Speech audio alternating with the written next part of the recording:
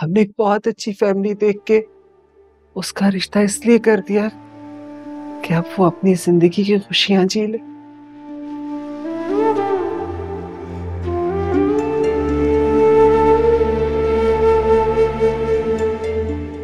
ज़िंदगी ने उसके साथ वफा ही ना की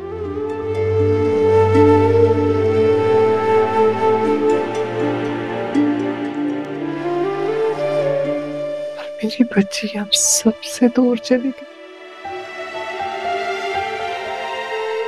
सॉरी अम्मी मैं आपको परेशान नहीं करना चाहती थी। आप तो बहुत हिम्मत और हौसले वाली हैं। हाँ बेटा। मैं अपने रब की रजा में राज़ी। जैसे मेरे रब की मर्ज़ी।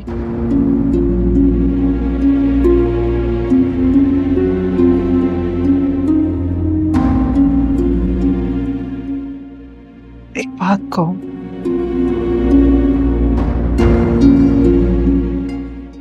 सुबल तुम आली के सामने ना निशा का ज़िक्र मत किया करो। अम्मी बता रही थी कि निशा को भी बिल्कुल ऐसी ही चोट लगी थी। बाप की छोटी और लाडली बहन थी ना बहुत याद आती होगी आपको।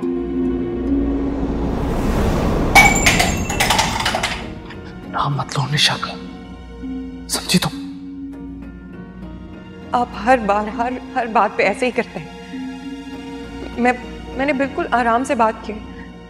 मुझे समझ नहीं आता कि मैं किस वक्त कौन से बात करूँ करूँ भी या ना करूँ। मैं तो आपको समझ ही नहीं पा रही आलियान।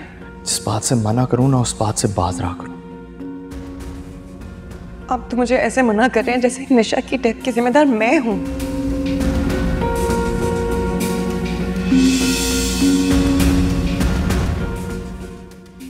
तो वैसे ही दीवाना उसके। निशा की बात ना भी हो तो वो अजीब सा रिएक्ट करते हैं।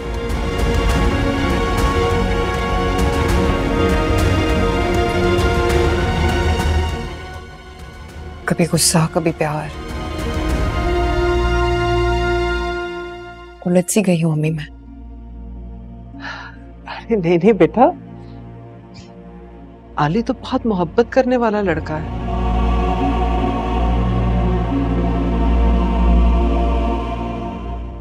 और गुस्सा तो आता ही नहीं है उसे।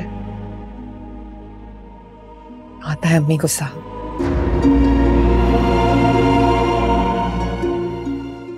बहुत शदीद गुस्सा आता है।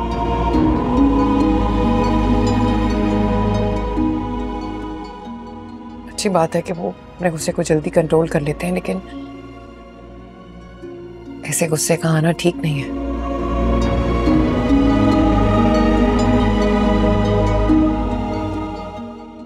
अभी मुझे लगता है कि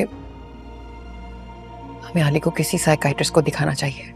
कैसी बातें सोच रही हो सुम्बुल आली एक समझदार और नॉर्मल लड़का है।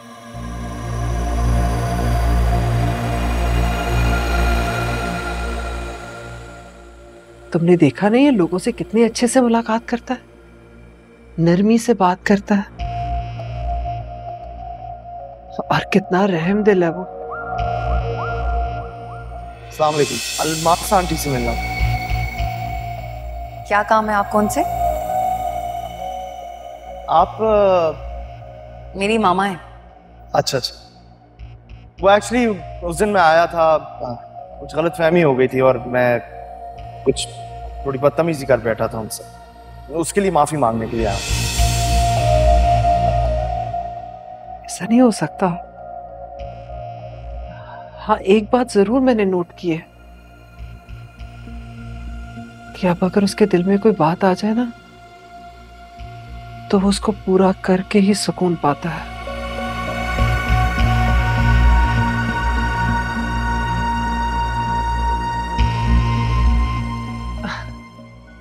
शायद जिद्दी हो गया है मेरा बेटा। जिद्दी? हाँ जिद्दी।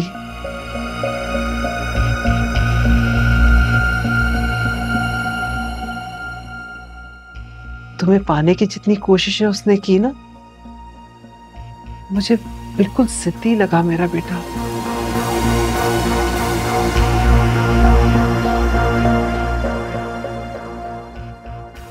लेकिन उसकी ये जिद बहुत ही प्यारी थी।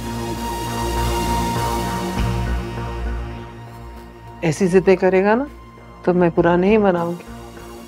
क्योंकि मेरी बेटी है ही इतनी प्यारी कि जो भी उसे देखे, उसे मोहब्बत हो जाए।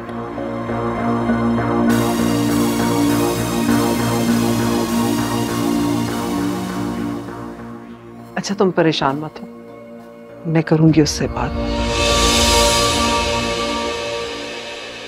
कान खींचूँगी उसके और समझाऊँगी। नहीं अम्मी आप मेरा नाम लेके बात करेंगी तो वो वो नाराज़ हो जाएँगे मुझसे। अरे नहीं सुम्बुल मैं अपने तरीके से समझाऊँगी बेटा तुम्हारा नाम नहीं लूँगी।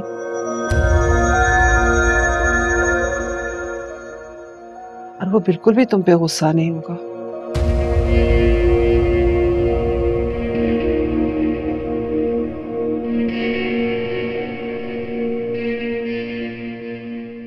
अच्छा एक काम करते हैं। तुमने मुझे बताया ना अली को कल सुबह सुबह जाना है ऑफ़िस? मैं ड्राइवर के साथ तुम्हें तुम्हारी अम्मी के घर भेज दूँगी।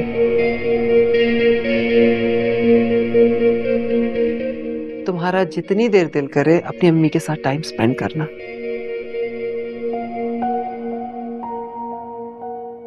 जितना स्टे करना हो, उतना करना। आने की जल्दी नहीं है।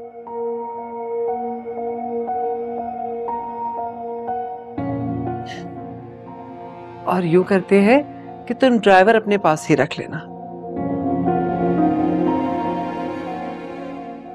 हो सकता है तुम्हारी भाभी और बहन का कहीं तुम्हारे साथ बाहर जाने का प्रोग्राम बन जाए।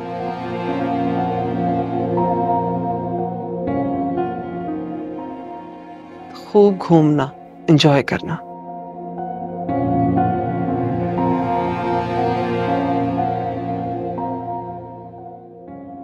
एक रिक्वेस्ट करूँ?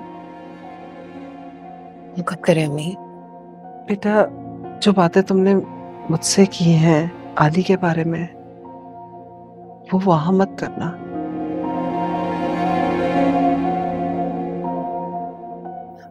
मेरा मतलब है, बेटा, तुम्हें नहीं पता, माओ का दिल अपनी बेटियों के लिए और खास तौर पे शादीशुदा बेटी के लिए ना, बहुत हसास होता है।